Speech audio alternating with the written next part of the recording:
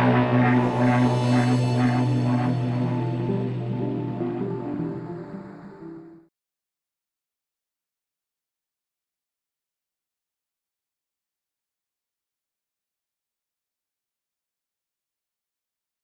this video I'm going to show you how you can choose a default video player on your Windows 10 PC. So to do this you need to go down to the bottom left hand corner and click on the Windows icon. Then you want to click on the little gear icon which is settings and then from settings you want to click on apps and then from apps you want to click on default apps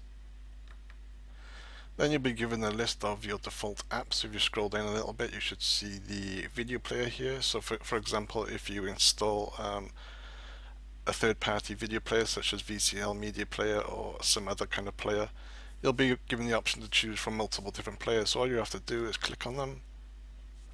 You can then choose from a list, for example, the built-in player is called Films & TV, which it says is recommended for Windows 10. I personally don't like it that much. You can also choose such as Google Chrome. You have Google Chrome installed, and there's some other ones. There's there's one from um, there's a PowerDirector media player here, and so on. Windows media player and so on. So just basically choose the default media player you want to open video files with.